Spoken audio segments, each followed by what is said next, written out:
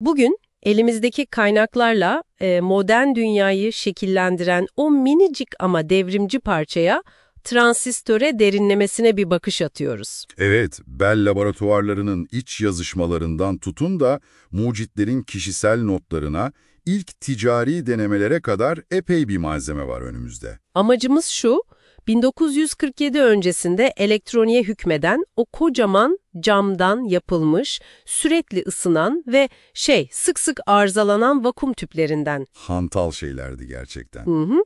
Bugünün mikroelektronik çağını başlatan o katı haldeki transistöre nasıl geldiğimizi anlamak. Yani bir düşünün ENIAC gibi ilk bilgisayarlar oda büyüklüğündeydi. Ve sürekli bozuluyorlardı ısıdan dolayı. Vakum tüplerinin bu dezavantajları vardı işte. Boyut, güç ihtiyacı, ısı, kırılganlık. Teknoloji bir yerde tıkanmıştı sanki, değil mi? Daha karmaşık veya taşınabilir bir şeyler yapmak çok zordu. Aynen öyle. İşte tam o noktada AT&T'nin araştırma kolu yani Bell Laboratuvarları ve Mervyn Kelly'nin vizyonu devreye giriyor.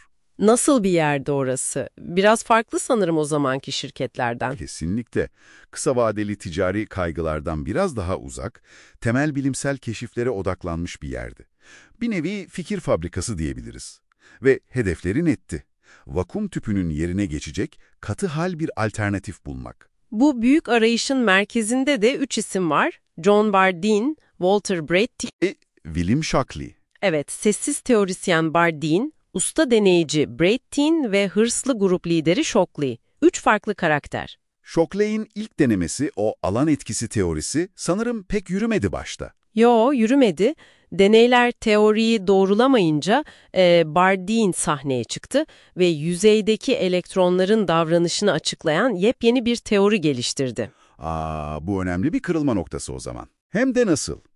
Brattin de bu teoriyi kullanarak 1947 aralığında o meşhur deneyi yaptı. Jermanyum kristaline iki altın folyo bastırarak ilk çalışan nokta temaslı transistörü icat etti. İnanılmaz bir an. Yani katı bir maddede sinyal yükseltilebileceği kanıtlanmış oldu. Tam bir bilimsel zaferdi.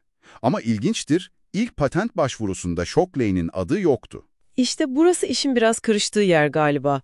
Rekabet, hırs. Evet, Shockley bu durumdan pek hoşnut kalmadı tabii. Kenara çekilmek yerine gizlice kendi tasarımını, kavşak transistörünü geliştirmeye başladı. Ve bu daha mı iyiydi ilk versiyondan? Çok daha iyiydi. Yani nokta temaslı transistör, laboratuvarda harikaydı ama kırılgandı. Üretimi zordu. Shockley'in kavşak transistörü ise daha sağlamdı, seri üretime çok daha uygundu. Yani asıl devrimi ateşleyen bu ikinci icat oldu diyebiliriz. Ekip içi rekabetin böyle bir sonucu olması da ilginç. İronik. Ama evet, ticari potansiyeli çok daha yüksekti. Shockley'in 1950'de yazdığı kitap da zaten bütün alanın temelini attı. Peki bu icat nasıl yayıldı dünyaya? Bell Labs bunu sır gibi saklayabilirdi. İşte orada çok stratejik davrandılar.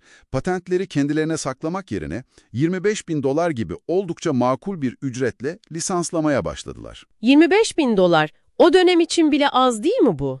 Az görünebilir ama fikir şuydu. Hızla bir endüstri yaratalım, tedarikçilerimiz olsun, teknoloji gelişsin. Hatta Mao Bell Yemek Kitabı dedikleri sempozyumlarla üretim bilgilerini bile paylaştılar. Vay canına. Bu açıklık işe yaradı mı peki? Hem de nasıl? Texas Instruments gibi, Sony gibi şirketler hemen bu alana girdi.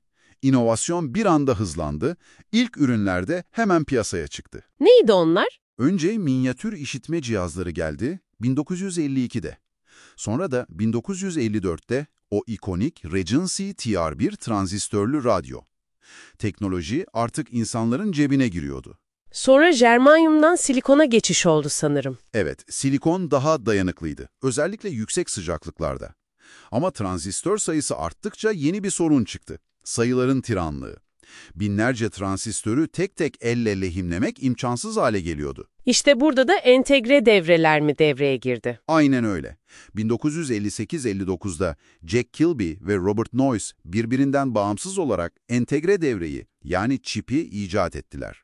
Artık tek bir silikon parçasına binlerce, sonra milyonlarca, şimdi milyarlarca transistör sığdırılabiliyordu. Moore yasasının başlangıcı yani. Tam olarak. Mikro işlemciler, kişisel bilgisayarlar, bugünkü dijital dünya hepsinin temeli bu. Düşünün, bugüne kadar tahminen 13 sekstilyon transistör üretilmiş. 13 sekstilyon. Bu aklın almayacağı bir sayı. İnsanlık tarihinde en çok üretilen nesneymiş. Muhtemelen öyle, evet. Peki o üç mucit, Bardeen, Brattain ve Shockley, Nobel aldılar ama yolları ayrıldı sonra değil mi? Evet, 1956'da Nobel Fizik Ödülünü paylaştılar ama çoktan farklı yönlere gitmişlerdi. Bardeen akademiye döndü, hatta ikinci bir Nobel daha kazandı süper iletkenlik teorisiyle. İkinci Nobel, inanılmaz. Brattain daha sakin bir hayat sürdü. Shockley ise kendi şirketiyle Silikon Vadisi'nin temellerini attı. Ama yönetim tarzı ve sonraki yıllardaki bazı tartışmalı görüşleri mirasına biraz gölge düşürdü. Karmaşık bir hikaye gerçekten. Transistörün öyküsü bize şunu gösteriyor. Büyük buluşlar sadece zeka değil, doğru ortam, farklı yeteneklerin bazen işbirliği, bazen de çatışma yoluyla bir araya gelmesi ve stratejik kararlarla mümkün oluyor. Shockley'nin hikayesi de bir alandaki dehanın başka konularda yanılgılara düşmeye engel olmadığını gösteriyor sanki. Kesinlikle. Üzerine düşünülmesi gereken bir durum. Bu derin dalışı bitirirken size de şunu sormak istiyoruz. Bu küçücük sadece 70 yıl önce icat edilen şey olmasaydı, şu an bizi dinlediğiniz cihaz, sahip olduğunuz bilgiye erişim, hayatınız nasıl olurdu acaba? Bir düşünün isterseniz.